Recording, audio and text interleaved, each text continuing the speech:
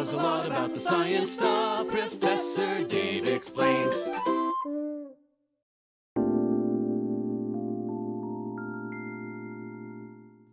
As we have seen thus far, through most of history, mankind has turned to nature to find remedies for disease.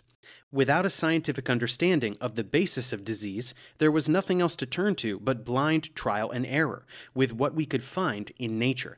That is, if you discount incantations and prayer, which were, of course, also widely practiced. However, in the last 200 years, we have begun to understand precisely how things like plant extracts exert their physiological effects on the molecular level. You see, in addition to the basic building blocks of life we rely on in order to survive, plants produce a huge variety of small molecules. The intended purpose of these small molecules is certainly not to help mankind alleviate disease. These molecules are merely part of the chemical arsenal a plant uses to defend itself from predators, to compete for resources with other plants, to attract insects for the fertilization process, and so forth. It is simply that we have discovered our own applications for these substances, given the resourcefulness of our species. So it is the case that these components largely serve the purpose of protection for the plant, and the most direct way for a plant to protect itself is to produce poisons, so that animals do not eat them. One important family of compounds that plants synthesize for this purpose is called alkaloids, which represents a fairly complex set of thousands of small molecules that are basic in nature, and therefore mimic the property we refer to as alkaline by elevating the pH of an aqueous solution. Although it was not yet conclusively demonstrated at the dawn of the 19th century, it was generally believed by scientists of the time that plants naturally contained chemicals that were responsible for their medicinal properties. Although the concept of molecular entity was rather fuzzy back then, it was known, for example, that pure substances have sharp melting points and also tend to have well defined physical properties. Chromatography, a method by which components of a mixture can be separated, was still a century away, and therefore it was not possible to accurately judge the purity of a substance which a chemist produced, as it was always unclear as to whether it was a pure substance or a mixture of compounds. Therefore, defining a substance was a very problematic venture, even once the existence of a particular active ingredient within a plant was accepted, as opposed to a belief in the magic healing properties of nature. The very first great success in this area was achieved by a German pharmacist, Friedrich Sertürner, in 1804. The narcotic properties of opium were well known to mankind at least since the time of ancient Egyptian civilization, and because of this, poppy pods were of great interest to chemists and pharmacists for a very practical reason. Extracts of these pods were used as analgesics, which means they were used to treat severe pain, but their performance was variable, leading to many cases of overdosing and underdosing, and therefore ineffective medical outcomes. Sertürner, however, extracted the dried poppy pods with boiling water and then added ammonia, obtaining a colorless solid as a precipitate. This substance could be further purified by recrystallization. Sertürner called the substance morphium, but it was later renamed morphine by the French chemist Joseph Gay-Lussac.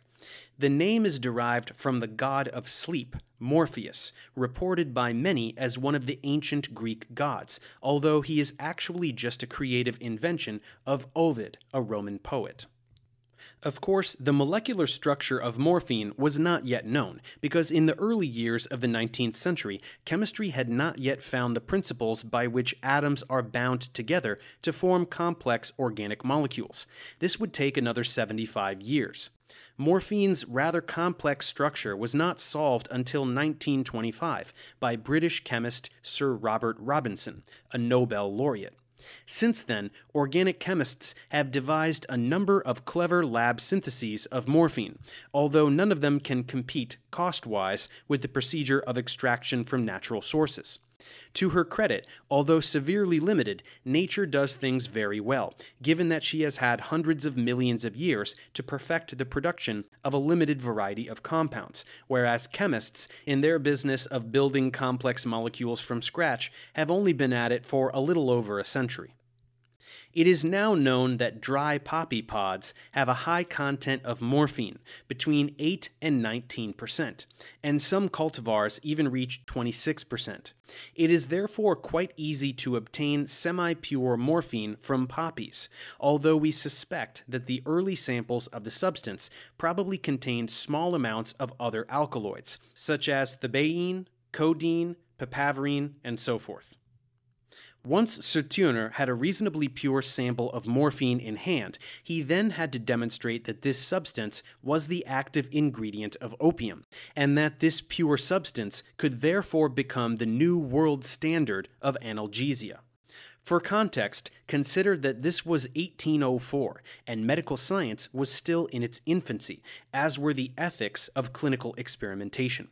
Once he got his first few samples, Serturner enrolled four dogs for his first animal trial.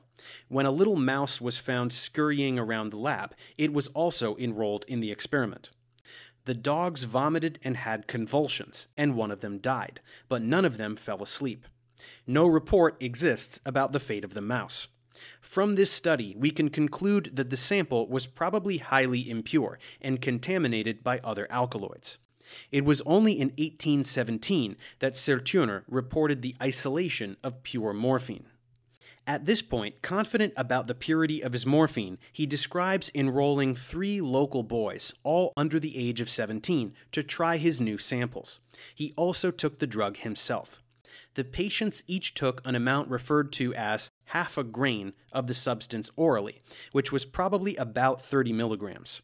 This brought about some redness and narcosis, which is a word that refers to a state of stupor or drowsiness. This was followed by two more comparable doses after half an hour. The final dose brought about extreme narcosis and stomach pain. Serturner was alarmed by extra heartbeats and decided to rectify the situation by administering half a bottle of strong vinegar to everyone, upon which everyone promptly vomited. The narcotic effects, stomach pain, and general loss of appetite persisted for several days. Serturner concluded that he had found the active ingredient in opium, and he was later shown to have been correct. As incredible as it may seem to us, those were the clinical studies of the time. It is not clear what he paid the young boys to undergo the experiment, but their parents could not have been pleased, although in retrospect, they participated in one of the most historic experiments in the history of pharmacy. It turns out that the total dose administered was quite close to the lethal dose, and with just a bit more, death could have been caused by respiratory depression and finally a complete cessation of breathing. After 1817, morphine was produced and sold in Serturner's pharmacy, but in 1827, full industrial production started in Darmstadt, Germany, in the facilities of Emanuel Merck. The Merck pharmacy had been founded in Darmstadt in 1668, but had remained a small business until Emanuel Merck recognized the potential of active principles from plants. The company grew markedly by selling morphine, which they described to be part of a new cabinet of pharmaceutical and chemical innovations, and gradually became the pharmaceutical giant and successful research and development center of later centuries. Morphine is still an important drug today, and therefore an important commercial product. Its production volume is over 500 metric tons per year, which is about 1 million pounds. However, much of this is used to prepare what are referred to as semi synthetic derivatives, where chemists begin with a natural product and tinker with its structure. As we will discuss when we talk about the modern pharmaceutical industry, chemists always play with the structures of bioactive natural products, adding or removing functionality to see what the transformation does to the molecule's biological activities. Therefore, there are many important synthetic derivatives of morphine. A transformation we refer to as double acetylation, for example, gives rise to a more potent derivative of morphine called heroin. Just as with morphine, heroin is very addictive and has caused many societal problems, and we will discuss this further in a chapter on narcotics. Other morphine derivatives, like codeine and hydrocodone, are sold as potent analgesics and have a wide market. This group of substances is called opioids and unfortunately also gives rise to complex dependency patterns. Merck and other firms took advantage of the alkaloid business and developed other products, although none of them reached the volume of morphine. There are literally thousands of alkaloids in nature, and you may have heard of some of them. Most of them are poisons, like strychnine and coniine, the active principles of hemlock, the plant which was used to execute Socrates in ancient Greece. You have certainly heard of nicotine, another extremely toxic alkaloid found in tobacco and widely debated substance. Caffeine is the alkaloid of tea and coffee, and it is also poisonous at high doses.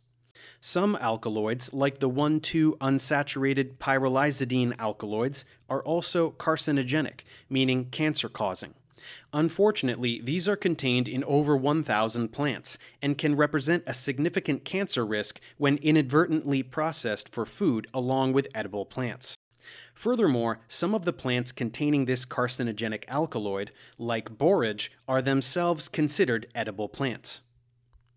To summarize the key points of what we have just discussed, some plants naturally produce a structurally varied series of compounds called alkaloids, which they primarily use as a defense mechanism as these alkaloids have biological properties and interfere with a number of biological pathways with the ultimate goal of killing predators, it is logical that a few might have medicinal applications of some sort or another.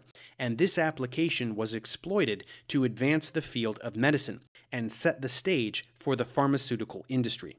But morphine is not the only compound in this story. Next, we will provide one more example, a compound which is more directly credited with birthing the modern pharmaceutical industry via an unpredictable series of events. Let's see what happened next in the history of drugs.